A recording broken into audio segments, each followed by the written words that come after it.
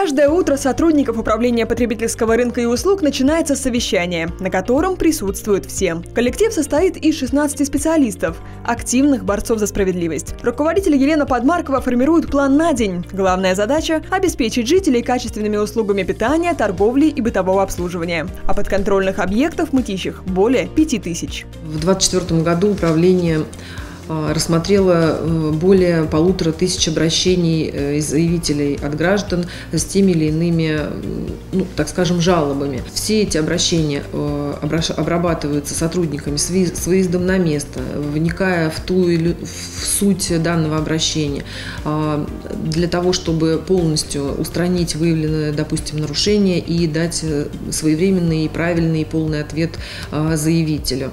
В основном неравнодушных горожан беспокоит внешний облик магазинов и торговых центров. Разрушенные входные группы, граффити и разбитые витрины – все это отталкивает местных жителей. Посещать ухоженные здания всегда приятнее. А еще мытищенцы периодически жалуются на нарушение закона о тишине. Нередки случаи, когда из разных заведений музыка по ночам звучит слишком громко. И с этим управление успешно справляется.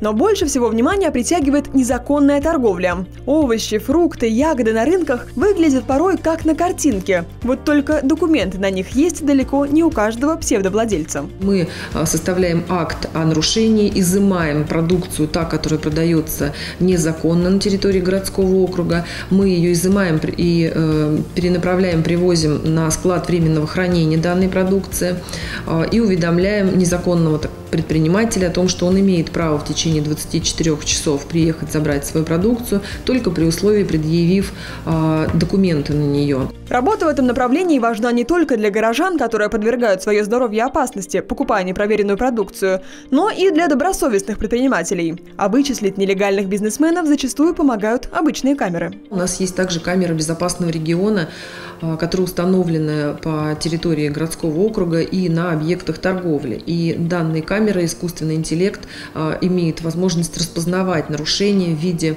допустим, незаконной торговли, а, либо выносной торговли за пределы павильона. Главное своевременно отслеживать поступающие задачи а, ну, в телефоне, в мобильном приложении, выехать на место, а, подтвердить либо опровергнуть то, что у нас видеокамера сфотографировала. Отследить на камерах такие нарушения помогает мобильное приложение. Посодействовать этому могут и обычные жители. Если вы столкнулись с незаконной торговлей, смело сообщайте по телефону, который видите сейчас на экране.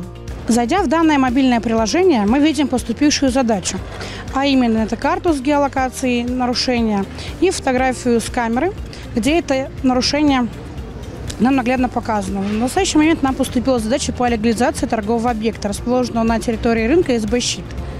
Чтобы закрыть данную задачу, необходимо сделать пару фотографий с выбранного камерой ракурса, а также приложить договор. Следующая задача управления – приведение объектов торговли в надлежащий вид. Как говорят, встречают по одежке. Правда, здесь речь идет совсем не о человеке. Надлежащий вид – это, значит, э, привести объект в его а, состояние в соответствии с правилами благоустройства, архитектурного облика городского округа.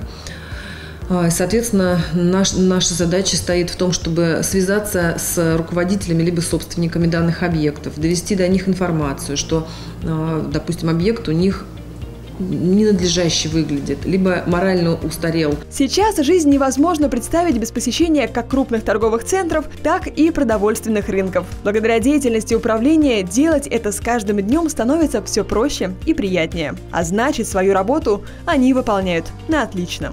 Алина Савар, Светлана Покровская, Александр Соломкин, Алина Серим, Первоматичинский.